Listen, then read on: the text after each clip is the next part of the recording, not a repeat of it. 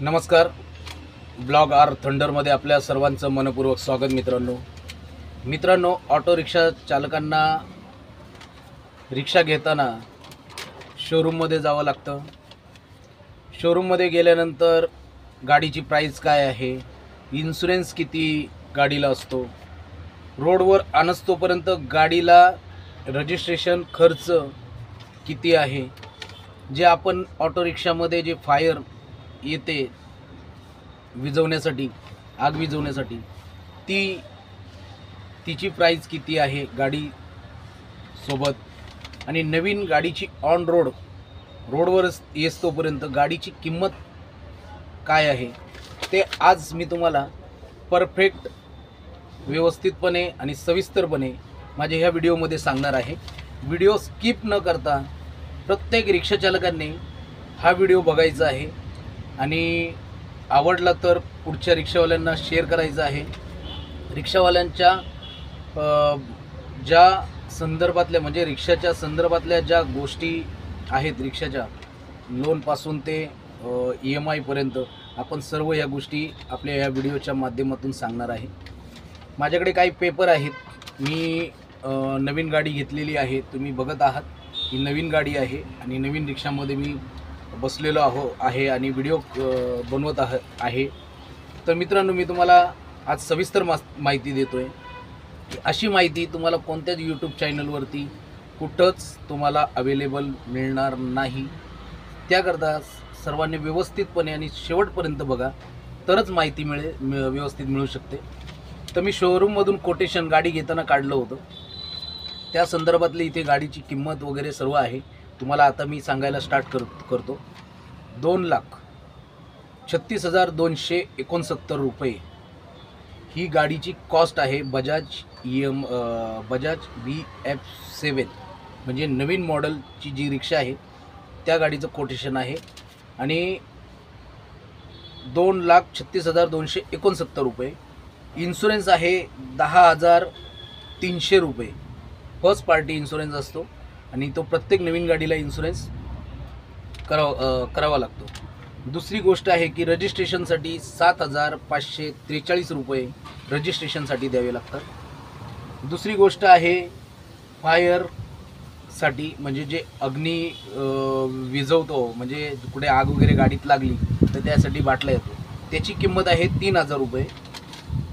परमिटची D D आता तुम्ही नवीन रिक्षा घेतात त्या टायमाला तुम्हाला परमिट घेतात. त्या टायमाला तुम्हाला पंधरा हजार रुपये डी डी भरावा लागतो. प्लस वरती शंभर रुपये काही चार्जेस वगैरे पावतीचे वगैरे असतील ते असे पकडून पंधरा हजार शंभर रुपये.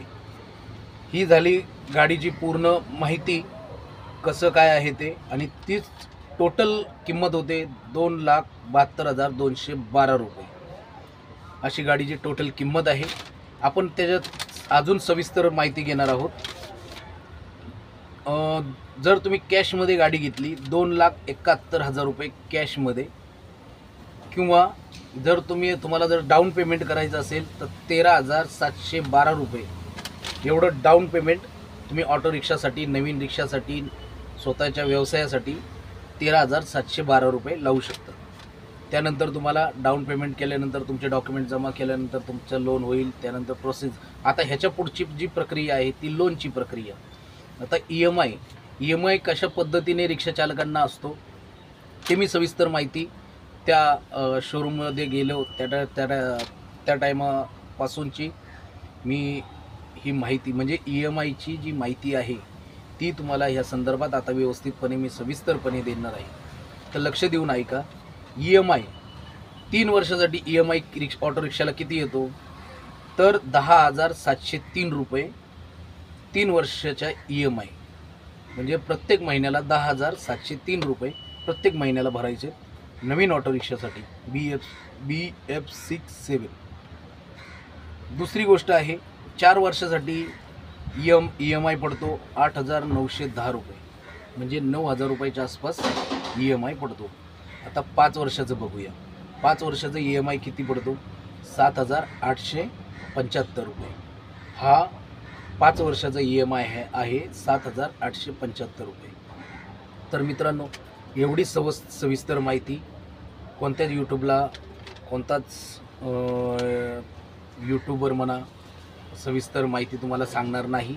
फक्त सांगतील रिक्षा घ्या रिक्षा घ्या रिक्षा घ्या. पण रिक्षा घेण्यासाठी बी तुमच्याकडे बजेट असलं पाहिजे. जर एक विचार करा मिनिमम तुम्ही विचार करा. जर तुम्ही गाडी घेतलीच तीन वर्षाचं ई एम आय ठेवला तर दहा हजार सातशे तीन रुपये. जर दिवसाला कमवले तुम्ही हजार रुपये तर तुमच्याकडे तुमचा इन्कम किती राहतो? फक्त वीस हजार रुपये. त्याच्यामध्ये मेंटेनन्स आहे घर खर्च आहे ग घरातला जो छोटा मोठा खर्च असतो तो असतो. तर तुम्ही कशा पद्धतीने तुम्ही गाडी घेऊन एवढा दहा हजार रुपये महिन्याला पेमेंट तुम्ही करणार आहात? जर तुम्ही आठ हजार नऊशे दहा रुपयाचं जरी पेमेंट जरी चार वर्षाला ठेवलं तरी तुम्हाला शेवटी तो त्रास होणार आहे. तर जास्तीत जास्त लोनवरती गाडी न घेता जर तुमच्याजवळ जर एकत्रित पैसे वगैरे असतील तर तुम्ही त्याचा वापर बी पर्याय म्हणून करू शकतो. पाच वर्षाचा पर्याय जो आहे तो एक मिनिमम ई एम आयप्रमाणे आहे. ई मिनिमम ई एम आयप्रमाणे आहे पण तो रिक्षाचालकाला बी झेपला पाहिजे. सात हजार आठशे पंच्याहत्तर रुपये म्हणजे जवळजवळ आठ हजाराच्या आसपास हा ई एम आय पडतो. तर मित्रांनो एवढी सविस्तर माहिती सांगितली. त्याच्याबद्दल तुम्ही नक्की कमेंट करून सांगा. आणि हा व्हिडिओ कसा वाटला आणि प्रत्येक रिक्षावाल्यांपर्यंत हा व्हिडिओ पोचला पाहिजे त्यासाठी लाईक शेअर आणि सबस्क्राईब करायला विसरू नका. आपण ह्याच ठिकाणी व्हिडिओ थांबूया. जय हिंद जय महाराष्ट्र.